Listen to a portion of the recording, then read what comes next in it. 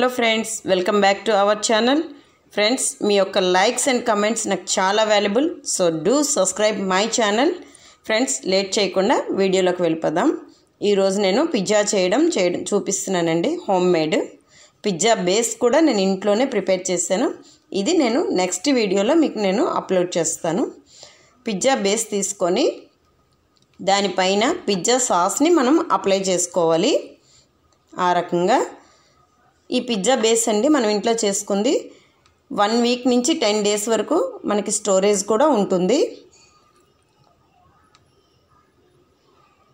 So ఈ రకంగా apply చేసుకోవాలి.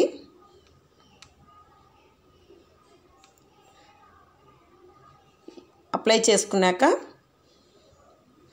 ప్రాసెస్డ్ చీజ్ అండి.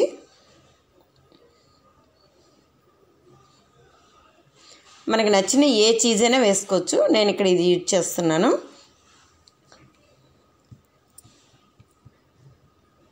అలాగే క్యాప్సికమ్ చిన్నవి పీసెస్ అండి. స్లైసెస్ లాగా కట్ చేసుకోవాలి. టమాటో నేను సీడ్స్ తీసి పెట్టినాను.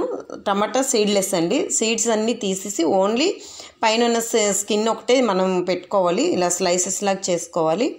అలాగే ఆనియన్స్ కొంచెం పన్నీర్ అండి నేను ముందుగానే ప్రిపేర్ చేశాను. ఇక్కడ నేను పన్నీర్ యూజ్ చేస్తాను పన్నీర్ని ముందుగానే ప్రిపేర్ చేసుకున్నానండి.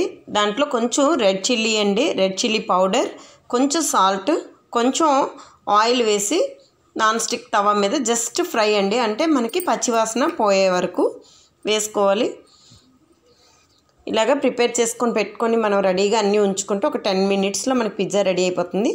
అది నేను తవా మీద చేయడం చూపిస్తున్నానండి. చాలామందికి ఓవెన్ అంటే ఇప్పుడు లైక్ చేయట్లేదు అందువలన తవా మీద కూడా చూపిస్తున్నాను. ఓవెన్లో కూడా ఇంకోసారి చూపిస్తాను. ఈ రకంగా వేసుకున్నాక మనము ఇప్పుడు తవా ముందుగానే ప్రీహీట్ చేసి ఉంచుకున్నామండి. దానిపైన ఈ పిజ్జాని మొత్తం రెడీ చేసింది. ఈ రకంగా కాల్చుకోవాలి. దీనిపైన కొంచెం మూత కూడా పెట్టుకొని ఉంచుకోవాలి. ఒక టెన్ టు ట్వెల్వ్ మినిట్స్ ఉంటే సరిపోతుంది. చూసుకొని లో ఫ్లేమ్లోనే ఇది అవ్వాలండి దీన్ని ఒరిగానో అండ్ చిల్లీ ఫ్లేక్స్ కూడా వేసుకోవచ్చు. ఇది ఆప్షనల్ అండి. సో ఫైనలీ ఇలా ఉంటుంది. ఫ్రెండ్స్ మీకు గనక ఈ వీడియో నచ్చినట్లయితే లైక్ చేయండి షేర్ చేయండి subscribe my channel. Thank you for watching. Thank you.